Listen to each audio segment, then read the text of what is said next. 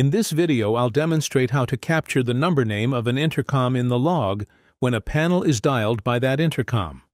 First, we select the relevant device and go to the device map. Then we right-click on the relevant server and go to Diagnostics, Device Log. After opening the device log, dial the panel from the intercom device. When the panel is dialed, the log will show the information. Within this log, you'll find the number name of that intercom device.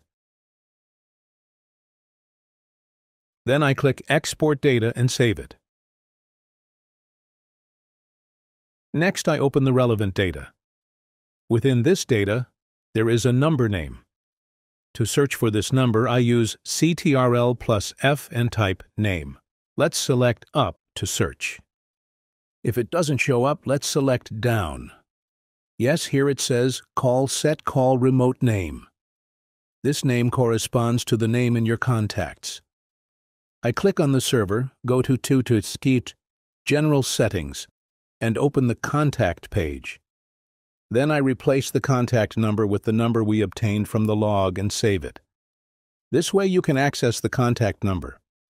The purpose here is to be able to retrieve the number from different intercom devices in this manner. For more of our training videos, follow the playlist and please subscribe.